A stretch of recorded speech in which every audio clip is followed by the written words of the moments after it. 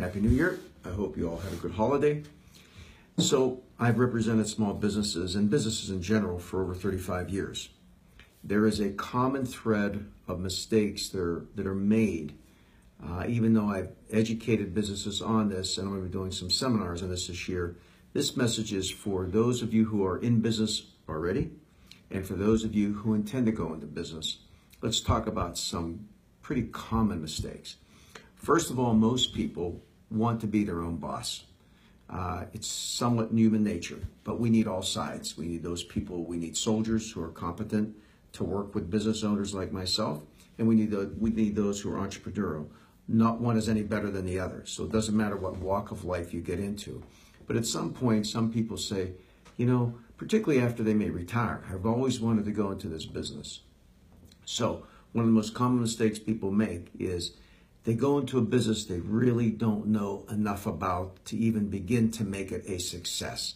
In other words, the emotion of being in business is so dramatic and such a fulfilling thought that they don't look past the emotion and get really good advice on the success of that type of business, the competition of that type of business, the cost of that type of business. The the ones that have failed, the ones that have made it, you just saw recently one of the largest chains in the country is closing over a thousand stores. Going in business for yourself requires an enormous amount of due diligence if you want to be successful.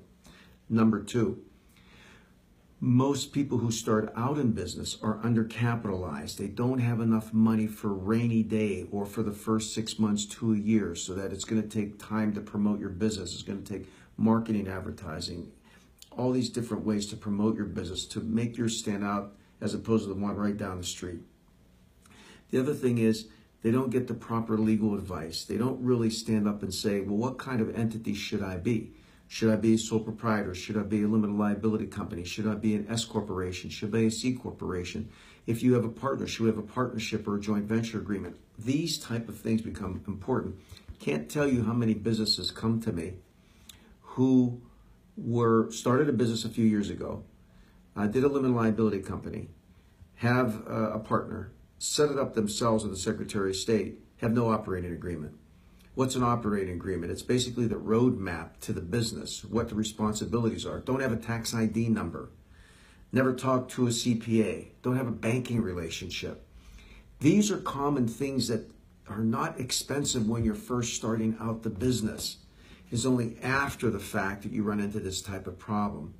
So when I talk about common mistakes, the laundry list could go from here to Los Angeles and back, but common things I want you to think about. Number one, do your due diligence. Make sure you check out the type of business that you're in or you want to go into, and make sure that you believe in it enough that you're going to write a check in order to sustain it. That's very important. And what do you need for that? Objective opinions. I'm not the kind of person that would kill anybody's dream. Read about Mrs. Fields. Everybody went told Mrs. Fields, don't ever do it. Well, so much for them.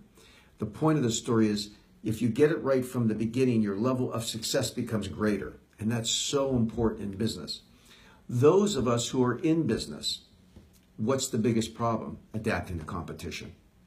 You know, how do we adapt to the Walmarts and the Costco's that move into the area when you have a pizza joint or you have a, hamburger joint or a sandwich joint or flowers, whatever it may be? How do we adapt to that competition? What we've seen in our country is these mega businesses come in and shut everybody down. It's a poor commentary. But that's the way that business is going. People want to go one stop and they want to get it all. They want to buy clothes, they want to buy groceries, they want to buy things for their house, the furniture. And needless to say, online competition is through the roof. We saw what happened this year with Christmas. Look at Amazon. I mean, they could get you things in two hours. You know, I mean, it's remarkable what's going on. But no matter what happens, the mom and pop operations still have a place in the United States of America. And you must not be discouraged by them, but you must be smart enough to figure it out before you start the business. And when you're in the business, don't be afraid. I heard a great statement today. I read it and I hope I could remember it. It's something like everything you've ever wanted to find is on the other side of fear. So just think about that. Everything you always wanted to find or know about is on the other side of fear because fear in business becomes not only a, a distraction, it becomes a deterrent and it takes your dreams away.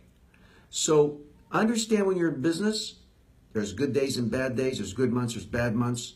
If you're going to go into business, be aware of these type of things. This is Bob Massi, Facebook Live, our office number 702-870-1100. I'll see you next week. And by the way, look for my son Robert. He starts his Facebook this Thursday.